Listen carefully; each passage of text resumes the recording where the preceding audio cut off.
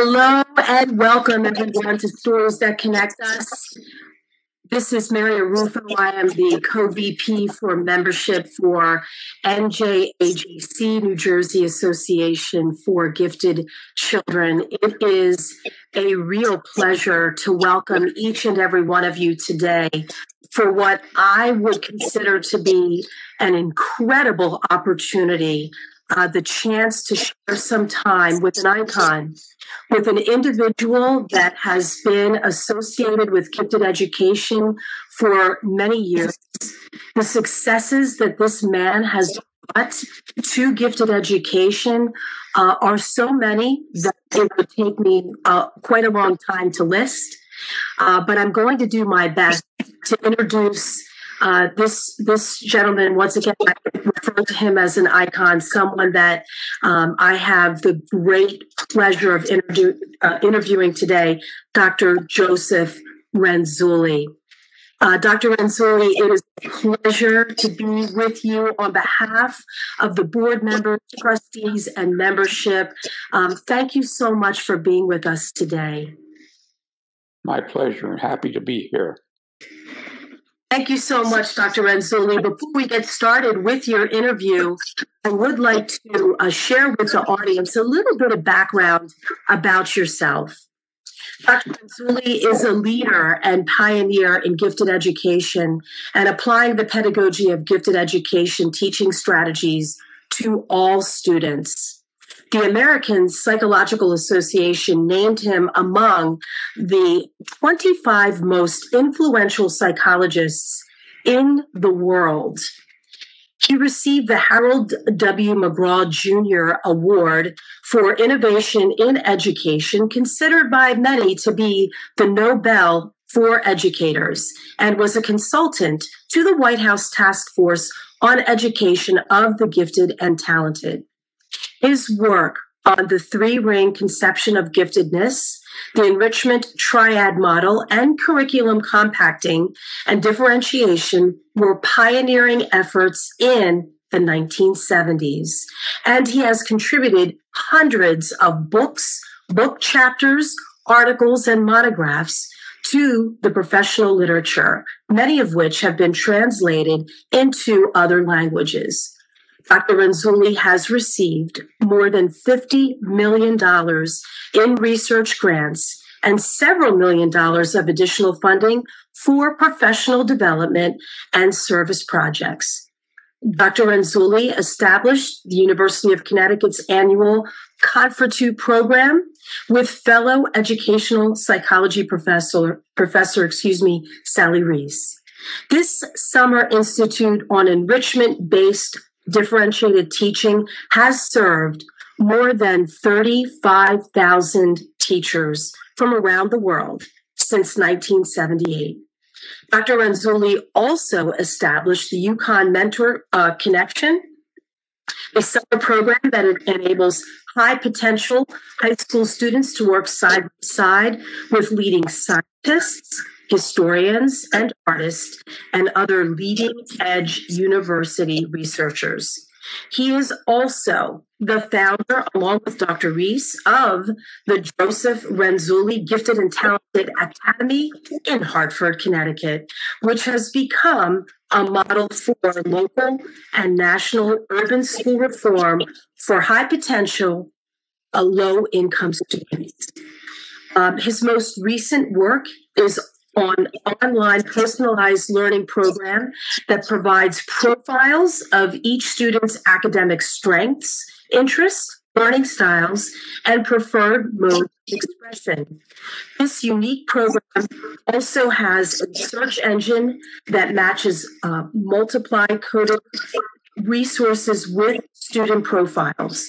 Teachers also use this program to select and infuse high engagement enrichment activities to and uh, any all standardized curriculum topics. I'm speaking of the Renzulli Learning Program. And at the University of Connecticut, uh, under the School of Education is where the Renzulli Center for Creativity, Gifted Education, and Talent Development exists. Their motto is enjoyment, engagement, and enthusiasm for learning. Dr. Renzulli, I could add so much more to this introduction, sir. Um, but I hope that I've done you um, really the service that that you are so deserving of Stories That Connect Us is really an opportunity for NJAGC to bring to the audience uh, just a look inside, a personal look inside to an individual's life story, um, one that can really just share in this next hour with you to learn a little bit more about yourself and and where things really got started. So while you call Connecticut your home, um, we are so excited here in New Jersey to call you one of our own because life started in the Garden State, in the state of New Jersey, correct? Correct. So, Dr. Renzulli, we're going to go back to the beginning. We're going to go back to when you were a little boy. You were you grew up in a shore town, and there were some there were some really interesting and provocative times in your life that uh, started to shape the individual that you are today. I wonder if we could start there in learning a little bit about your life.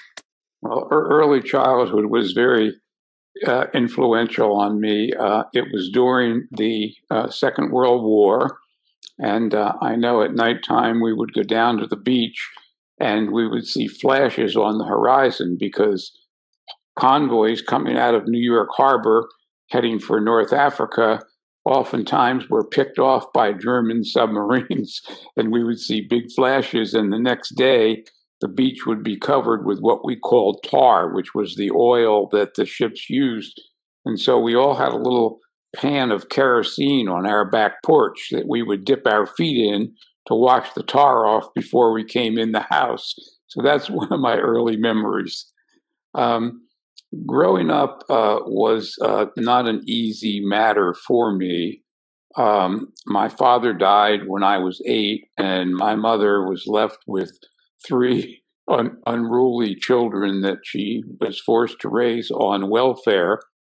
And one of the things that I learned at an early age uh, if you wanted something, you had to figure out a way about how to get it.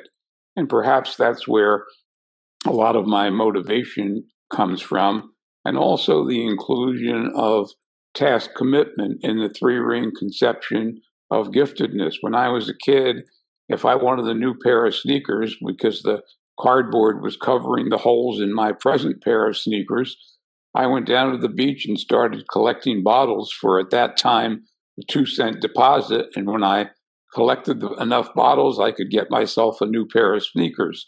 And I had a dozen other different jobs as a kid because it was very important to learn survival. And I think that those are the kinds of experiences that, again, travel with you through life. I still holler at my kids if they don't shut the light when they leave a room. Uh, and so uh, those experiences, I think, form your attitude, your character, whatever it may be. And uh, I think that uh, they're very, very important it also reminds me of a favorite quotation, and it's something like that goes something like this The only thing worse than having an unhappy childhood is having a too happy childhood.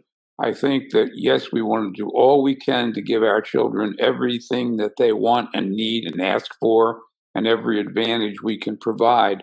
But we also need to make sure that there are experiences where they're not always getting the, the gold medal or the trophy, where they're not always completely successful. I think that we learn as much from those kinds of experiences as, again, the kinds of experiences that we are very successful at.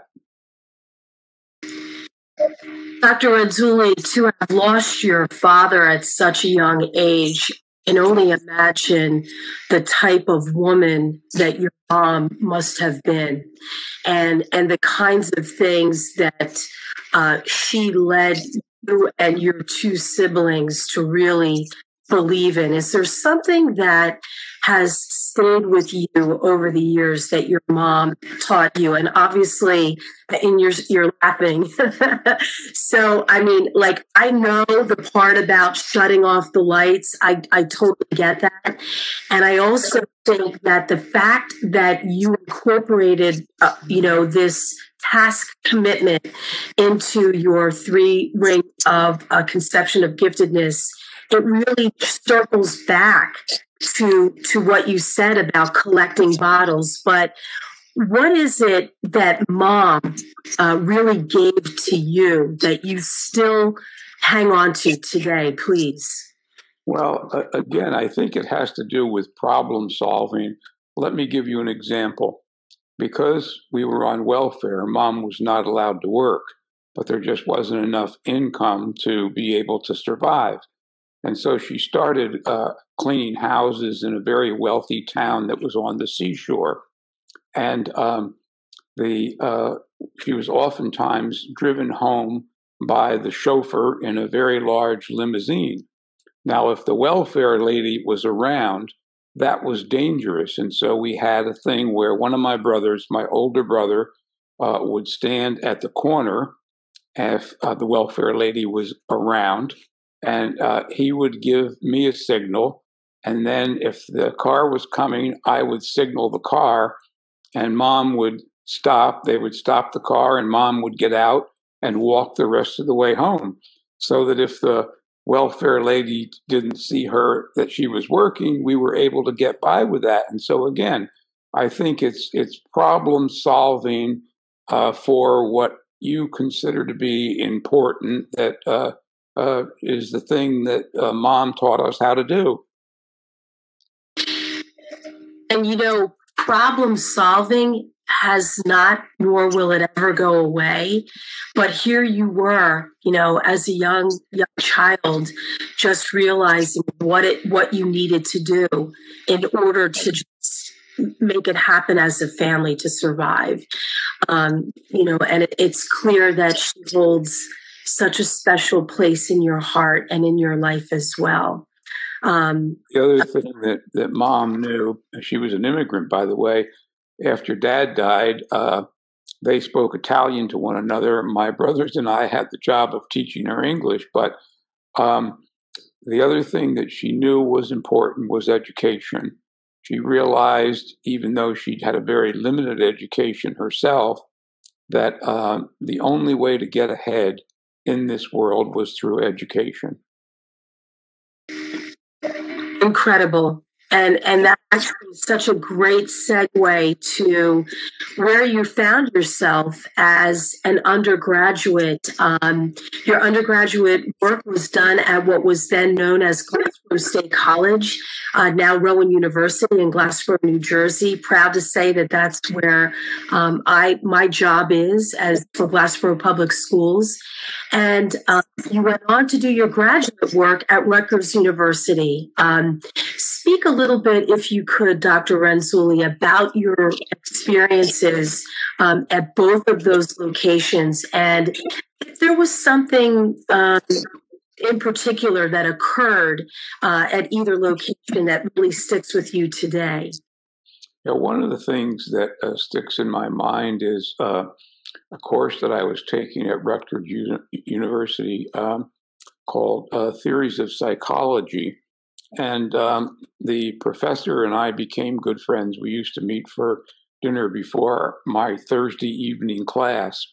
And um, one day she asked me uh, if I would review a manuscript that she was asked by a publisher to review. And uh, I thought, oh God, you know, another another job in my very busy because I was teaching at the time, my very busy schedule and it was about that thick. And uh, I took it home and I started to turn pages in it. Well, I ended up staying up all night because I was so intrigued with that manuscript. And it was to become a very well known book called Creativity and Intelligence by Getzels and Jackson, where they compared the two kinds of things. I was actually, my master's degree was in school psychology, and I was learning how to give and administer tests. And the whole idea of creativity became something that was really a central part of my early work. When I went on for my uh, doctorate at the University of Virginia, uh, Dr. Torrance, who became a great personal friend and mentor of mine, um, was uh, just beginning his work and uh, had developed what was at first called the Minnesota Test of Creative Thinking, later to become the very famous Torrance test.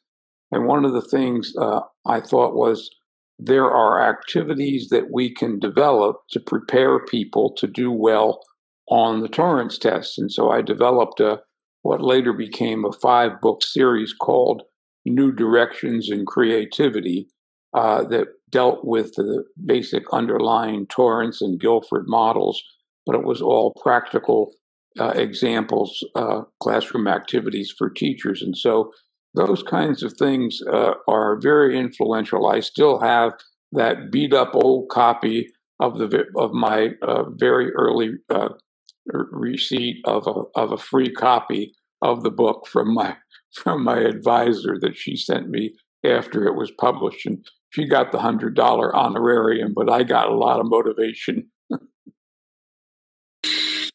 And it it all started really with being asked to review you know this particular piece. Who you know who would have thought that something like that would really change you know your thinking um, and the way that you look at things? It, it, one never one you know i think that chance and being at the right place at the right time and she evidently thought that you know that my mind was good enough. She said give me some talking points to send to the publisher. Well i had about three pages of nothing but uh, compliments about the book. Remarkable And I, am sure i mean look at it it stayed with you and really um, helped to frame um, your direction and, and, where you went. The, the, the kinds of people that you have met and worked with over the years. I mean, just countless number of people. But when you think back to some of the professors that you had in undergraduate work, graduate work, your doctoral program as well. I know you mentioned just a couple uh, just a moment ago, but um, I, I'm sure that there are experiences or moments in time that um, that stay with you. Is some something else during that time, Dr. Renzulli, that um, you felt like was an aha moment for you? Well, I think that um, one of the things that was important for me because of the early success of New Directions in Creativity was that one always has to keep the end user in mind when you're working on something. And a lot of researchers basically write for other research. And I must say, there's a lot of education research out there. I'm not criticizing it, but I will say that it's had a minimal impact on what goes on in classrooms. And so, any research project that I work on, my end user is teachers, administrators, and policymakers. And while I want the research to be as high quality as possible so that a research journal will accept it for publication, I have no doubt that it's the practical aspects of it that have made a difference. The other thing is that I believe uh, I've learned from my experiences in uh, Glassboro and Rutgers and later the University of Virginia is something that is a, a quote that my daughter actually has on her wall now because I told her about the quote. She's a screenwriter, and the screenwriter's motto is don't tell them, show them.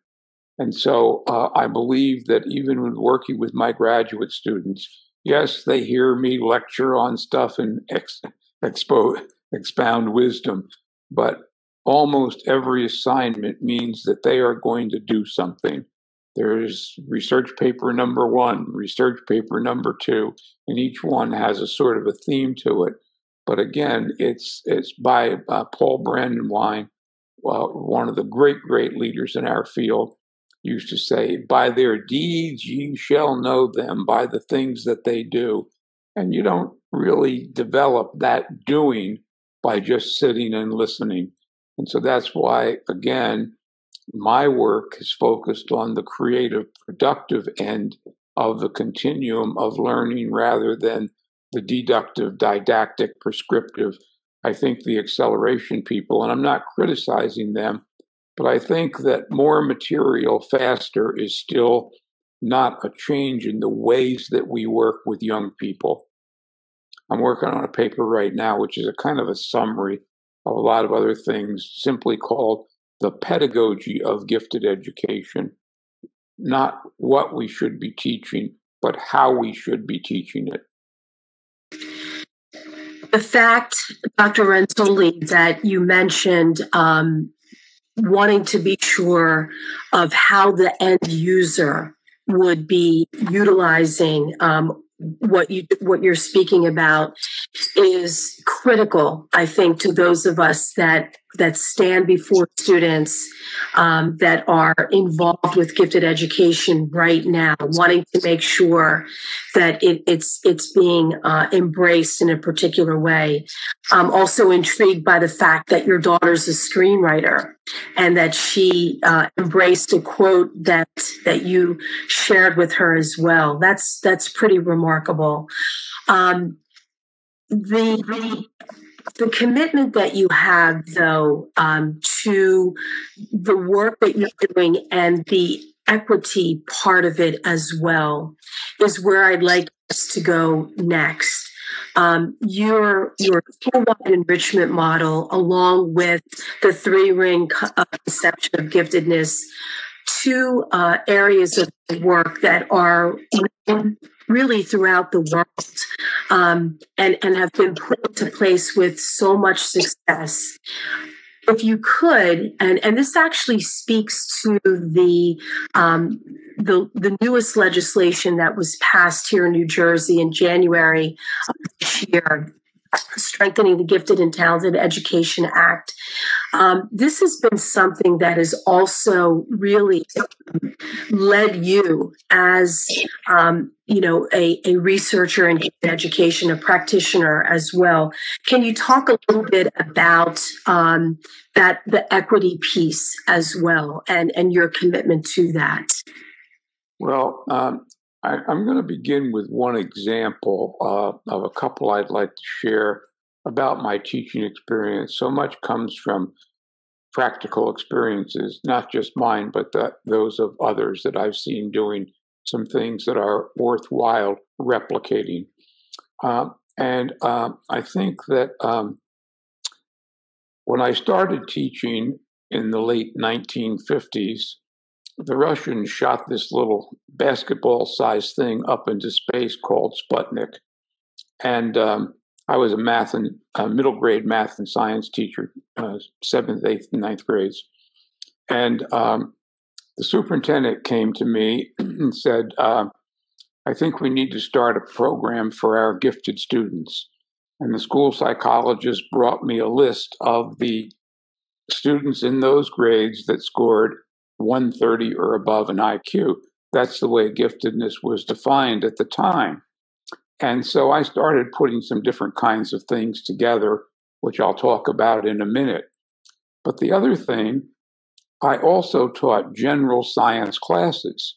And I had some kids in that class that were much more interested in science. Interest to me is what makes the world go around.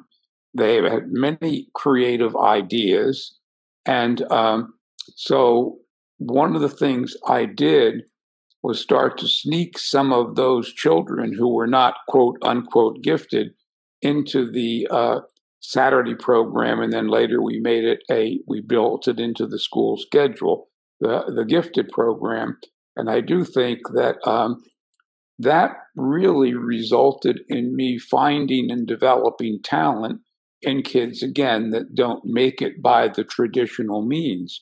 And um, it led to um, many research studies that I did on high potential, low income children. Uh, some work that I'm doing now, which I call assessment for learning rather than assessment of learning.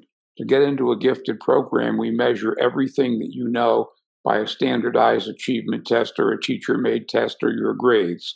That tells us that you already know something. The information in my assessment for learning approach is to ask young people about uh, their interests, their preferred modes of learning, and the ways they like to express themselves. And we're currently working on some new interests that deal with uh, student engagement, executive functions. And believe it or not, we're working on a school happiness instrument because those are the things that I've seen in people who have gone ahead to do important things. Now, other influences from the early days that led to Triad, and um, one of them was, um, and I wish I was the hero teacher in this, but I was, and I was a part of the team. Uh, Herb Buehler taught social studies. I taught math and science, and Rita Friedman taught uh, reading and language arts. And um, we had a young man named Paul Frankel, uh, and uh, he was in our cohort. And um, he needed some time to work on a project, which I'll tell you about in a minute, which really led to a lot of triad. But uh, he could learn math faster than most of the kids in my class. Now, I started a little thing for seat work. It was called a game. You know how problems get harder on a page of math from the top problem to the bottom problem? And you could go down the page. And I said, here's how the game works do the last row, bring it up to my desk, and if all of the problems in the last row are right, you're through with your math for the day. Now, that eventually led to what became curriculum compacting, but it also led to something else. I had to find out and figure what in the heck I could do, math related, that would fill those kids' time. They're not just going to sit there. And so that began almost a lifelong experience. It goes on today. I collect resources all the time that were enrichment related materials in math.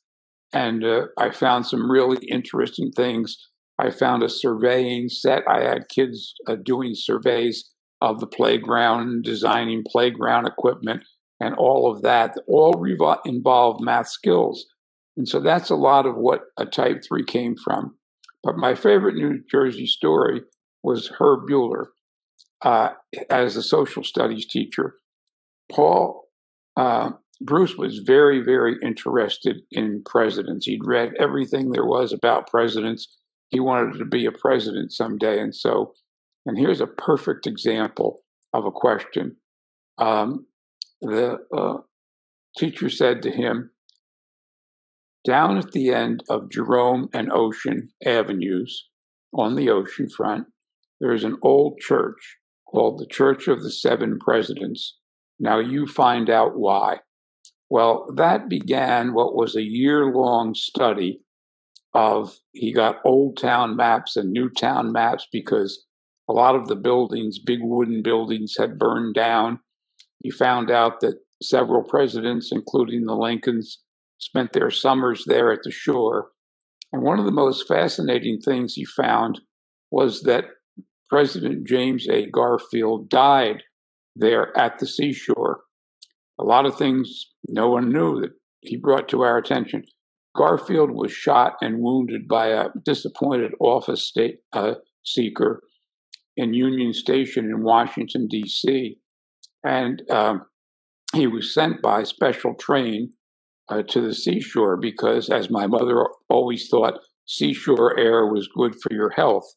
And they built a special track from the railroad station that my deceased father worked at to the front seashore. It's still the record building for railroads in the country. And they took him there where he lingered on through the summer and, and eventually passed away. And uh, Bruce wanted to find out where Jackson died. So he started looking around. Of course, the properties had all been carved up, mansions had burned down, they built new houses. So he spent a lot of time in the town clerk's office looking at old town maps Newtown maps, records, building records, deeds. And he was walking around there one day with the maps in his hand.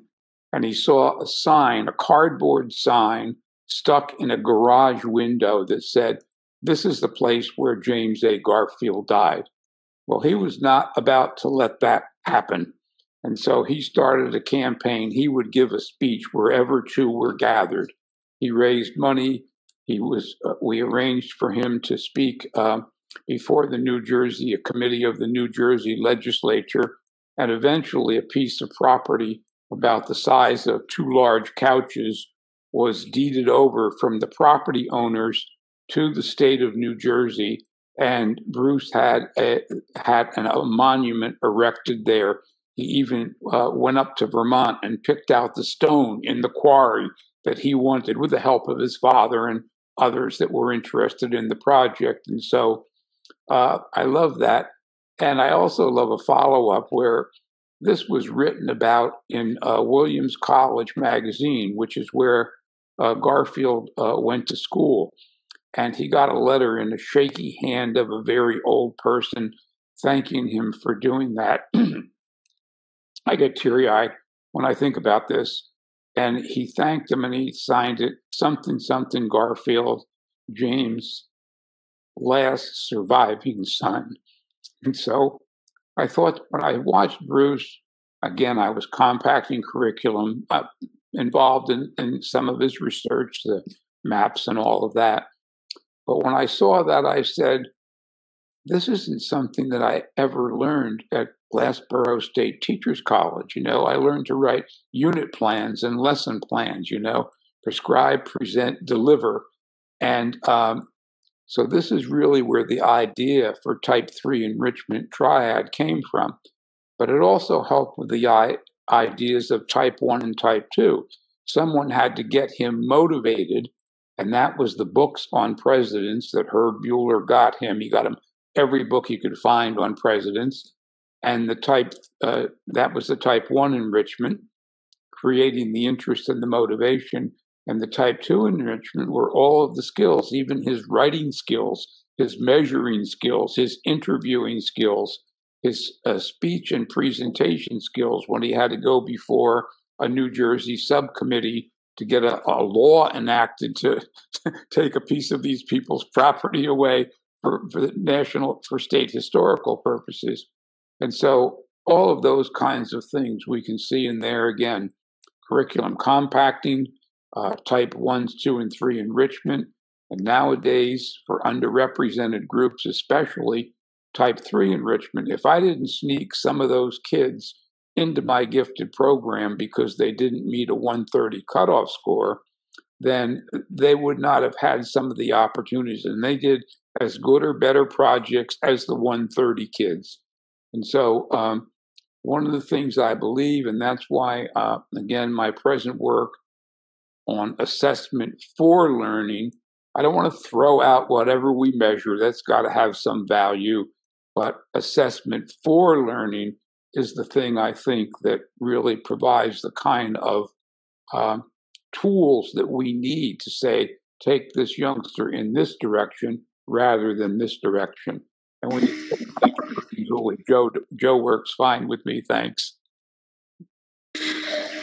You know, Dr. Renzulli, um, let me just say that the story that you just shared with us um, about your friend is exactly why stories that connect us is so important. Um, it moved you in a way uh, to recall this memory.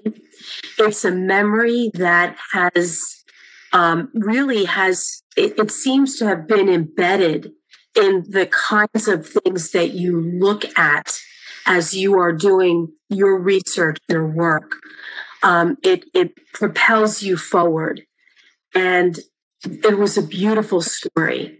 And and obviously, it's something that I think those of us that are listening to you speak, um, it shows that human side of the person that you are and why those experiences have helped to influence all of the things that you're referencing. And by the way, our audience can simply, you know, go to your website, Google you, any of the things that you've mentioned, triad, level one, all of these things are things that are connected with your name and to learn more about it. I mean, we, we could talk for another five hours about it, but the roots of it are things you're talking about right now.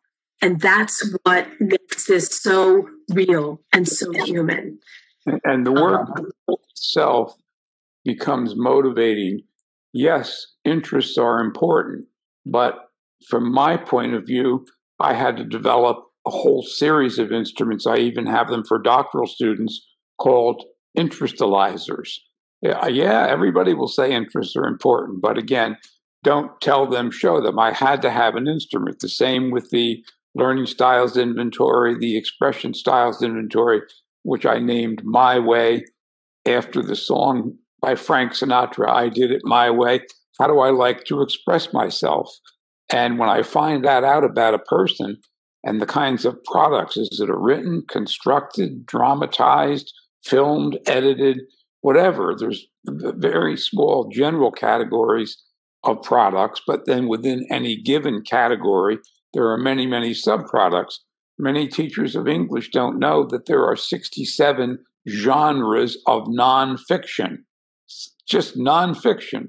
We always think, well, let's see, there's poetry and there's short stories and there's novels, uh, and then they run bare. And there are many, many other genres. And if you can find a genre, even writing captions for cartoons is a genre because that's what makes a cartoon funny. And so I think finding those interests and then giving young people a, a bunch of cartoons and saying, make this cartoon funny by what you write underneath it. And by the way, every couple of weeks, I enter the New Yorker cartoon caption contest. I haven't won yet. that is so cool to know because I mean, and again, to share that with us to see that look, Joe Renzulli is entering these contests as well. That's pretty amazing. That is so cool. Um, Dr. Ren- oh, oh, go ahead. Another thing about why learning styles is important. And I must say, uh, to begin with, I was never an outstanding student. I was probably, you know, a solid B student. Um, uh, but one of the things I knew about my own learning was that if I could see it, I could then write about it. So whenever I start on a new project, I don't have a typewriter or keyboard in front of me. I have a big blank piece of paper and I start drawing and circles and boxes and arrows, and this connects to this and that connects to that. And when all of that makes sense to me, and you can't make it too complicated or no one will understand it, I've seen some model diagrams that would just are unintelligible. Um, and so once it makes sense, and I'm always changing this and adding that, then I can write about it. And so one of the things that came out of all of this was my work on learning uh, on expression styles. I did it my way and learning styles as well.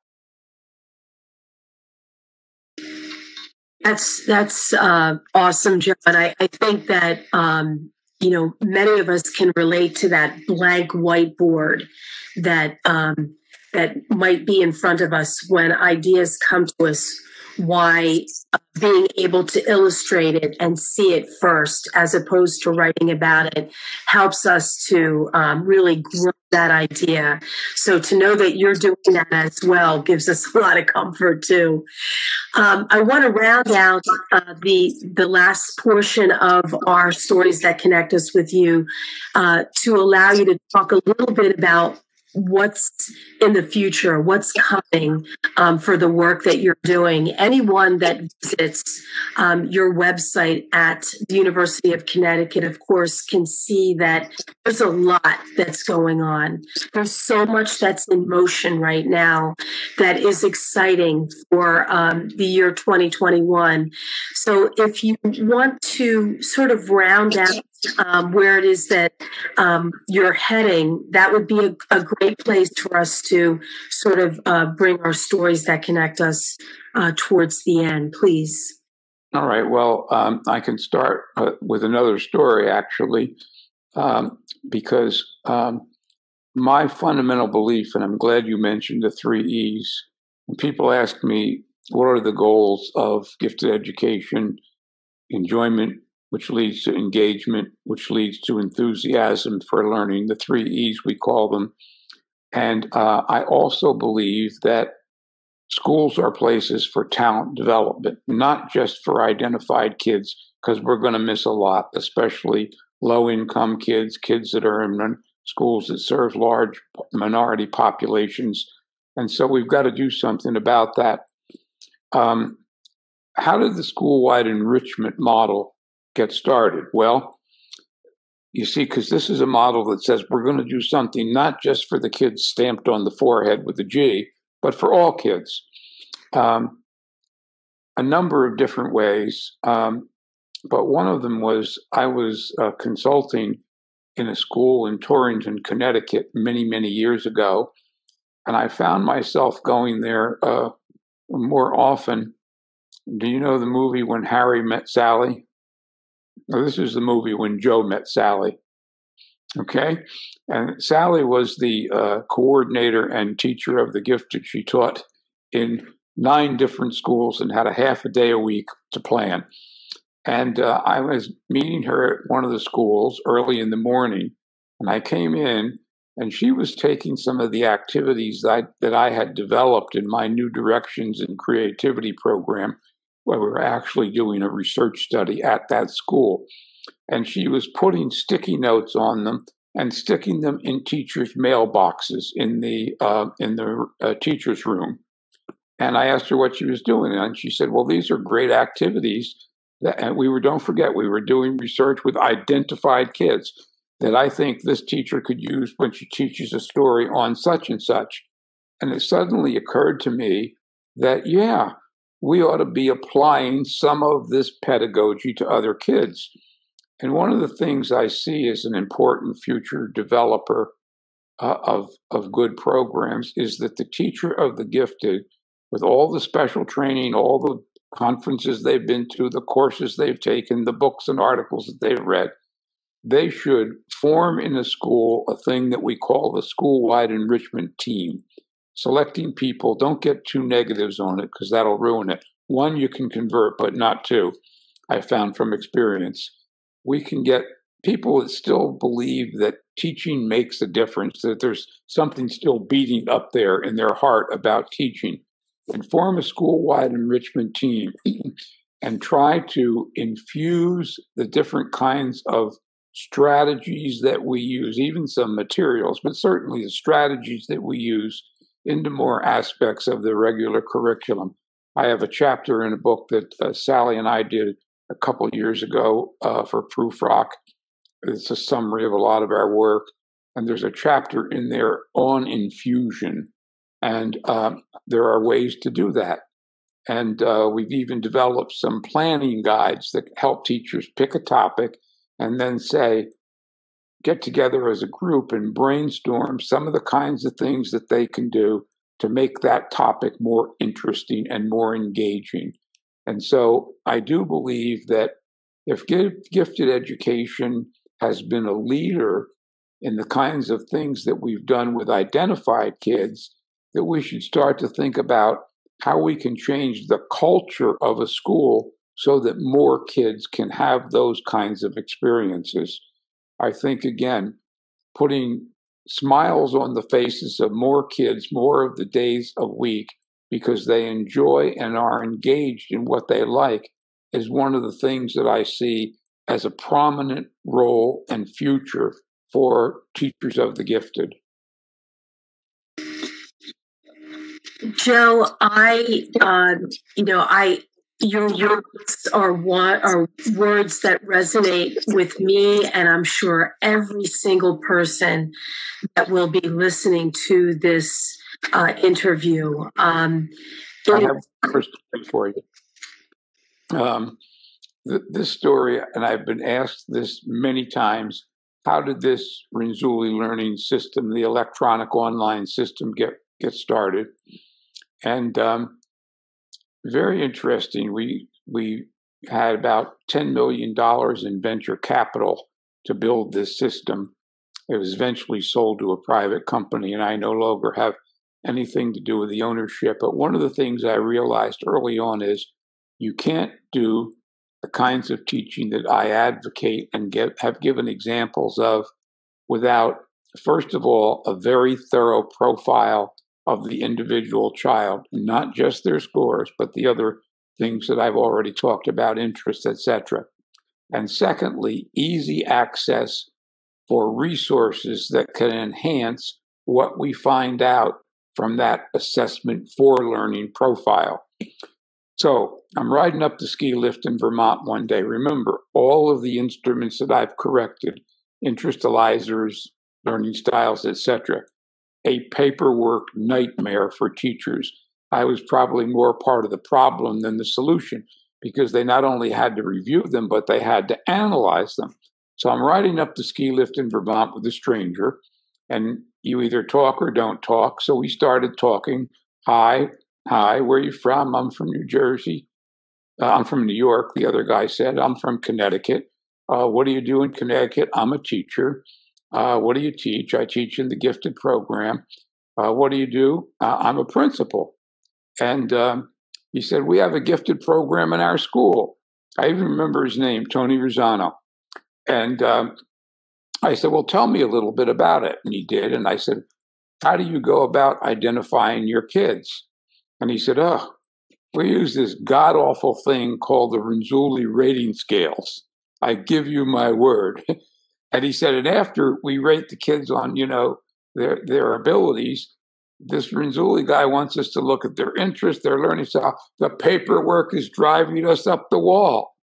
Now, how do you get somebody to ask you your name?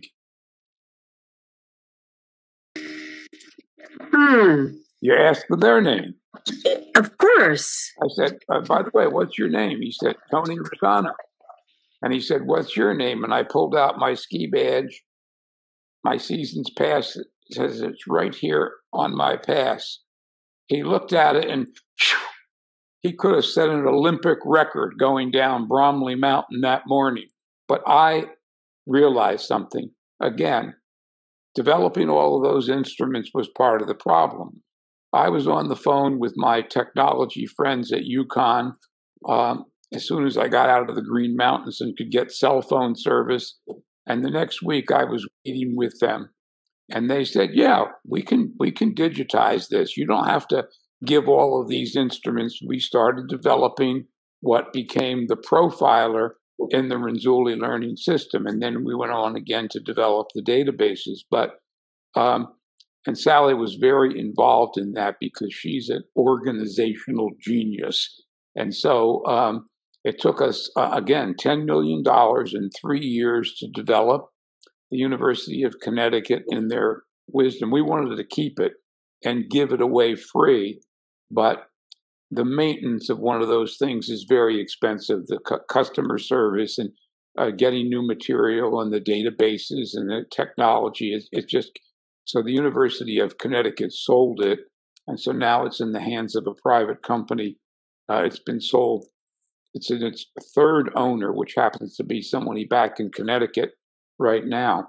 But I do believe, again, that's another problem solving issue that if you're part of the problem, you better figure out a way how to overcome it.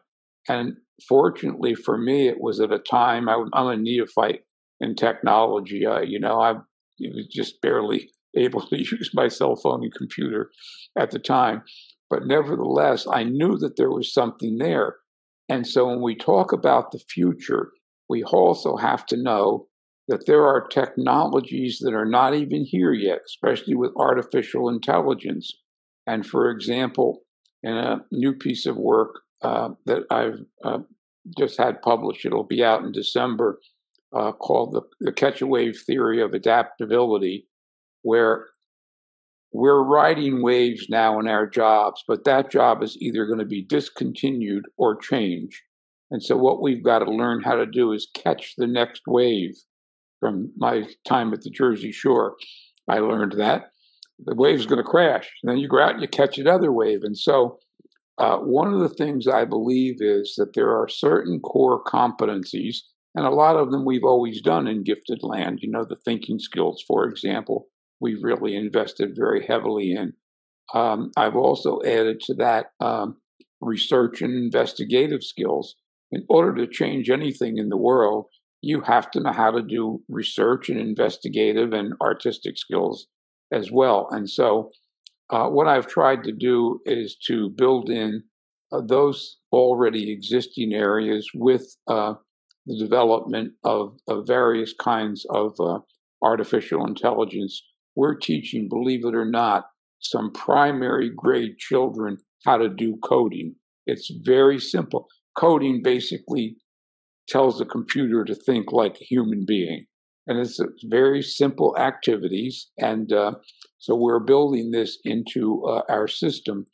And I believe that if there's one skill that is so important for all young people these days, it's adaptability.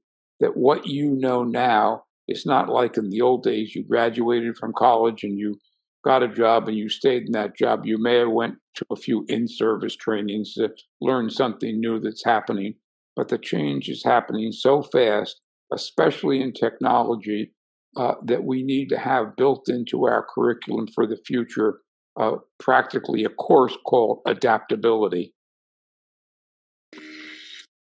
Joe, I I love how you enabled us to kind of come full circle with the the beautiful story that you shared about the principal and the fact that you related it back to problem solving. You listened to what that principal had to say.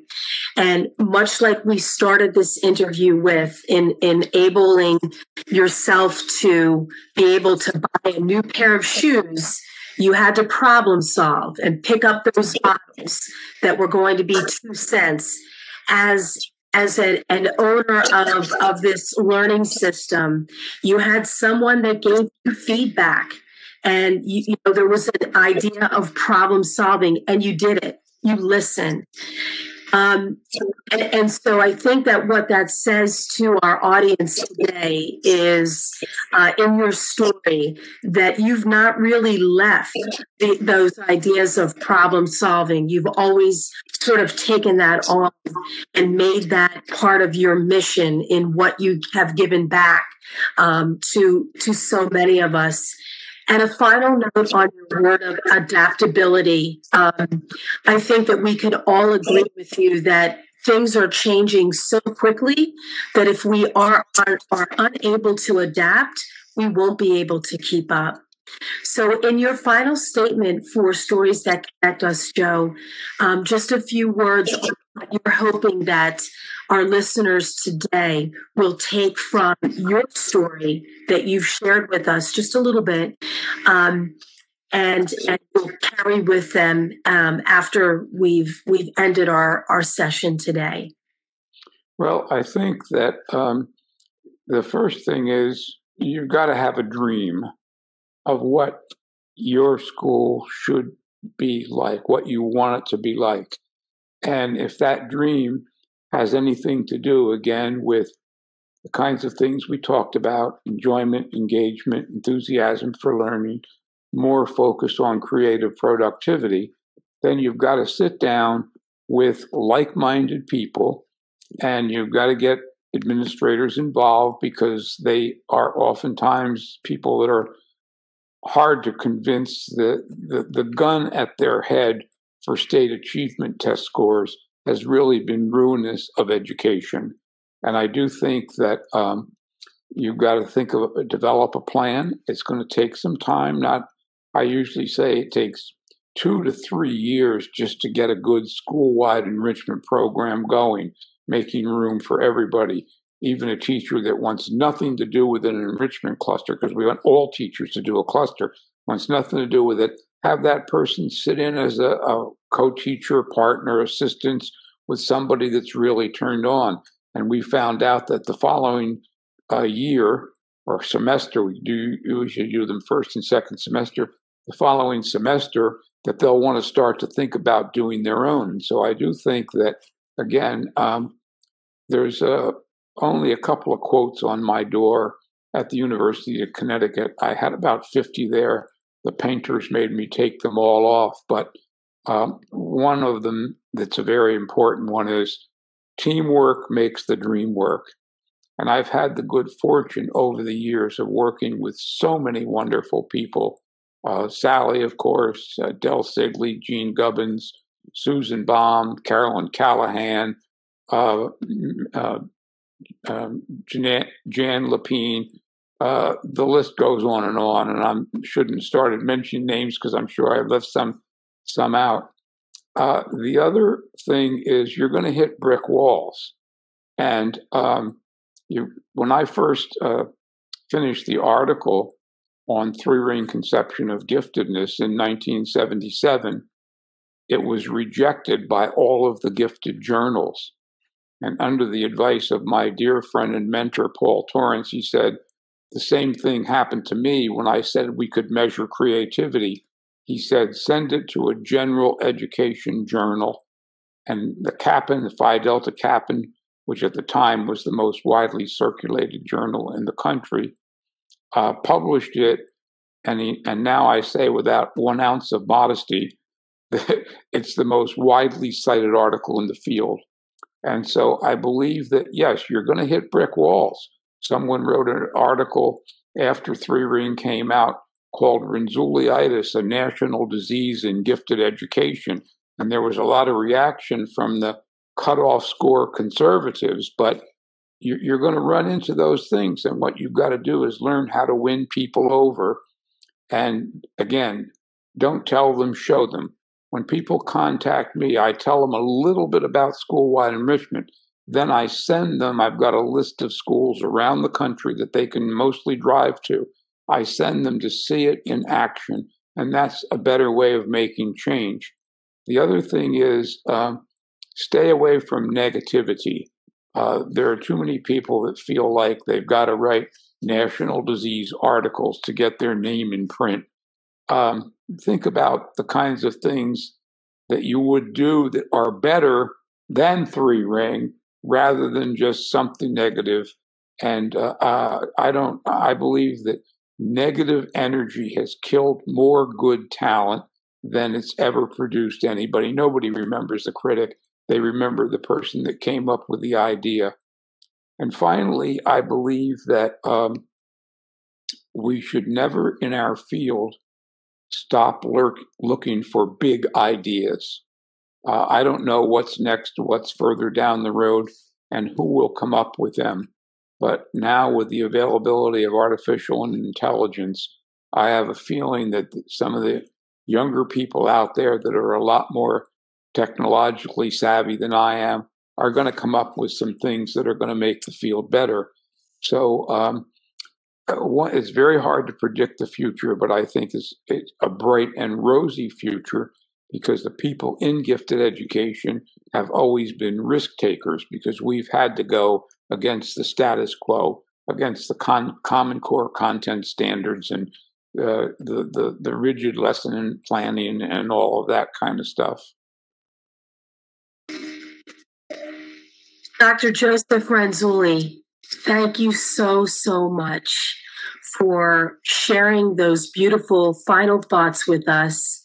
Um, we cannot thank you enough on behalf of everyone from New Jersey Association for Gifted Children um, and Stories That Connect Us. We thank you for being a person that you are, for doing all that you have done, for influencing people not only across the United States, but uh, throughout the world with your work. Um, you have been so gracious with your time today, and we cannot thank you enough. You are a Jersey guy, and you always will be. And I know you live in Connecticut now, but we're so proud to be able to say that you were from New Jersey, Dr. Renzulli. Um, thank you so much. This has been an amazing experience.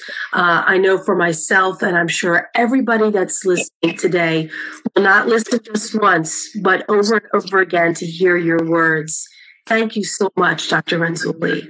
it's been my pleasure. And I enjoyed uh, listening and and again that I like doing things where I don't have to put up a single PowerPoint. we want to wish you and your family all the best. You take care of yourself, okay? Thank you, Mary. You're very welcome. Thank you. Bye bye, everyone.